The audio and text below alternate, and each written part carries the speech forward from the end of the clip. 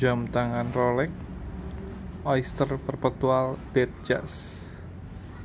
Ini KW bukan ori tapi bahannya bagus. Ini stainless steel solid.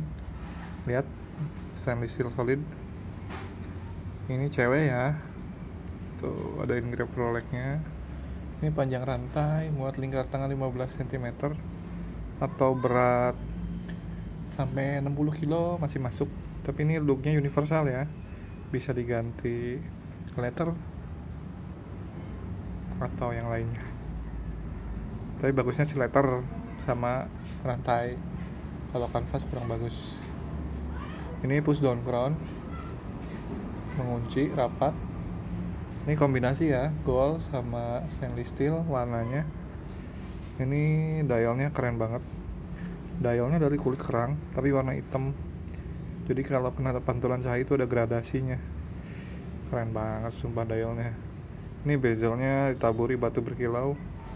Utuh nggak ada yang ompong nggak ada yang hilang. Ini kondisi tergi- terbilang masih baik. Ini sepertinya sa- sapphire. Soalnya hmm, licin. Dan nggak ada gores sih kelihatannya.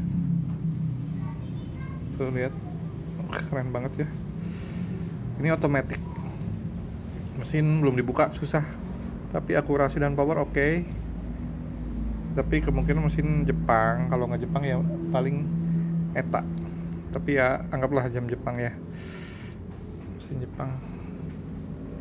Keren banget. Ini kalau dipakai bling bling mewah dan elegan. Cantik sekali. Minat monggo